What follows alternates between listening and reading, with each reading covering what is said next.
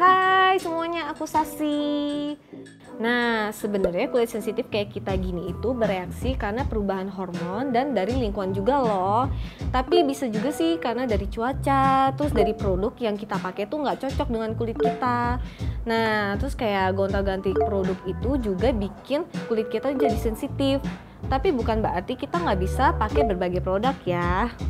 Terus aku juga pernah tuh baca di salah satu buku yang bilang kalau kulit sensitif itu uh, biasanya lebih tipis kulitnya, terus uh, lebih rapuh kelihatannya dan kebanyakan berwarna pink gitu.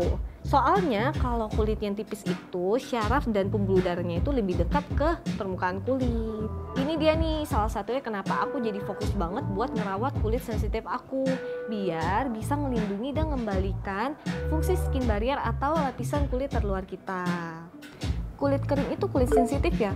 Ah aku juga dulu sempat berpikiran nih kalau aku tuh kulitnya kering karena aku pernah sih pas balik dari kampus terus aduh cuacanya tuh panas sih bukan main terus muka aku tuh langsung iritasi merah-merah terus kayak kulitnya tuh jadi terkupas gitu.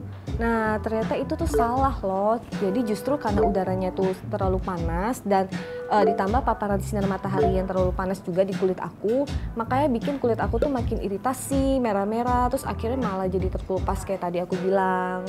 Nah sebenarnya uh, semua orang itu punya potensi kalau uh, kulitnya tuh bisa sensitif gitu. Mau dia jenisnya berminyak atau kering pun gitu efeknya bisa breakout di benjolan kecil dan bisa terlihat seperti ruam. Nah, dan ada juga kulit yang gatel, membengkak, bercak, memerah. Itu biasanya diakibatkan uh, reaksi dari alergi terhadap kosmetik, terhadap debu, dan terhadap hewan. Nah, jadi mencegahnya itu kita harusnya lebih lembut pada kulit dan harus menghindari hal-hal yang dapat menyebabkan iritasi pada wajah kita. Nah, aku juga pernah tuh pakai pelembab yang bener-bener nggak cocok banget sama muka aku. Kalian tau lah ya, kalau nggak cocok itu muka langsung merah, terus jadi perih kayak gitu.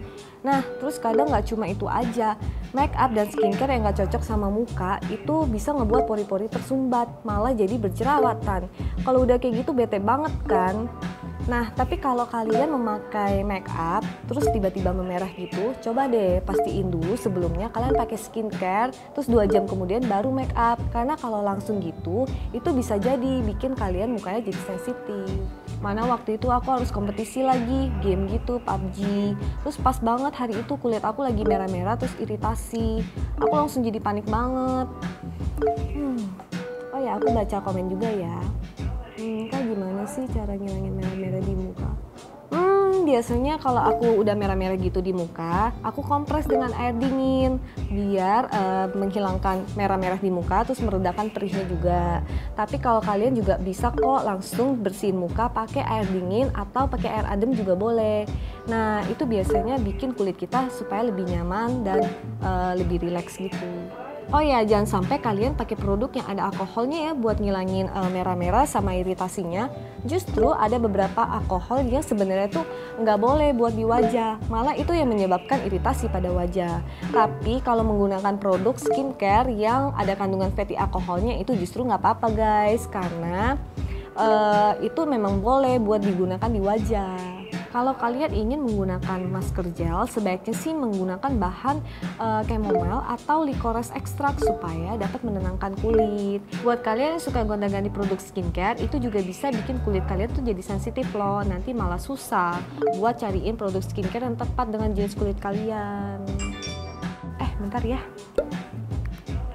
Uh, ini aku temen aku Niko diajakin mabar bareng tiba-tiba uh, guys kayaknya videonya segini dulu deh soalnya aku diajak ini kok mabar bareng nih tiba-tiba Oh ya, buat kalian jangan lupa nonton streamingan teman-teman yang lainnya juga yang cocok dengan jenis kulit kalian. Nah, jangan lupa juga ya tunggu video aku yang selanjutnya. Kita akan bahas lebih dalam lagi tentang kulit sensitif. Dadah! Dulu nih ya guys, mm -hmm. I only wash my face dan gak pakai apa-apa lagi. Mm -hmm. Padahal itu salah banget gak sih? Bener-bener bener salah banget. Aku juga dulu sering banget tuh kayak gitu.